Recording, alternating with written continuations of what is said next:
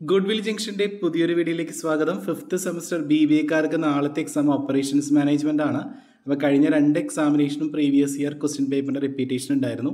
അപ്പോൾ നമുക്ക് ഇത് നമുക്കൊന്ന് just previous year question paper just ഒന്ന് ഡിസ്കസ് ചെയ്യാം. അതുകൂടാതെ ഇമ്പോർട്ടന്റ് ക്വസ്റ്റ്യൻസ് ഓൾറെഡി മുൻപ് ഞാൻ ചെയ്തിട്ടുണ്ട് കഴിഞ്ഞ വർഷത്തെ. അതേ സിലബസ് തന്നെയാണ് മാറ്റമൊന്നുമില്ല അപ്പോൾ അത് തന്നെ നിങ്ങൾ കാണാം.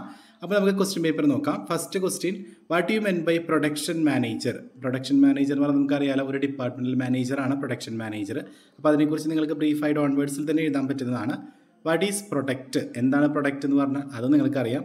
What is J I T J I T എന്ന് പറഞ്ഞാൽ ജസ്റ്റ് ഇൻ ടൈം അതായത് ആ ഒരു ടൈമിൽ മാത്രമേ നമ്മൾ ആ ഒരു പ്രൊഡക്റ്റ് ഒരു കമ്പനിയിൽ പ്രൊഡ്യൂസ് ചെയ്യുള്ളൂ. അല്ലെങ്കിൽ നേരത്തെ നമ്മൾ കുറേ ഒന്നും പ്രൊഡ്യൂസ് ചെയ്ത് വെക്കില്ല.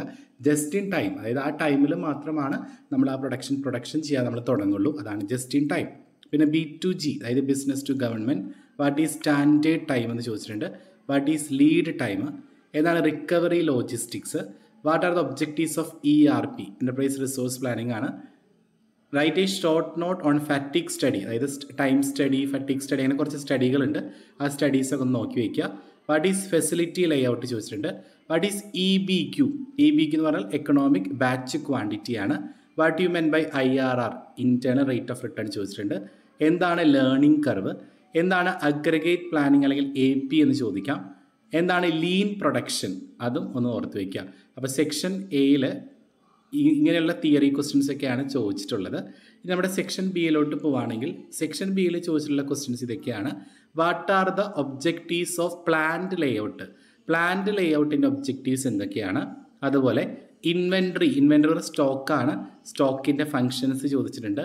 എന്താണ് അഗ്രഗേറ്റ് പ്ലാനിങ് സ്ട്രാറ്റജി മെറ്റീരിയൽ ഹാൻഡ്ലിങ്ങിന്റെ ബെനഫിറ്റ്സ് എന്തൊക്കെയാണ്? N P V net present value I R R internal rate of return നമ്മൾ ഡിഫറൻസ് ചോദിച്ചിട്ടുണ്ട്. പ്രൊഡക്റ്റ് ഡിസൈന്റെ ഫീച്ചേഴ്സ് ചോദിച്ചിട്ടുണ്ട്. പ്രൊഡക്ഷൻ കൺട്രോളിന്റെ ഒബ്ജക്റ്റീവ്സ് അതുപോലെ തന്നെ പാരേറ്റോ അനാലിസിസ് എന്താണെന്ന് ചോദിച്ചിട്ടുണ്ട്.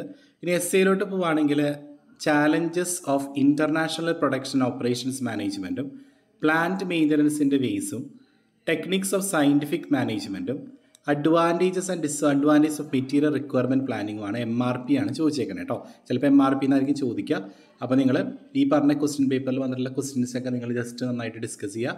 നന്നായിട്ട് പഠിക്കുക കേട്ടോ ഓക്കെ താങ്ക്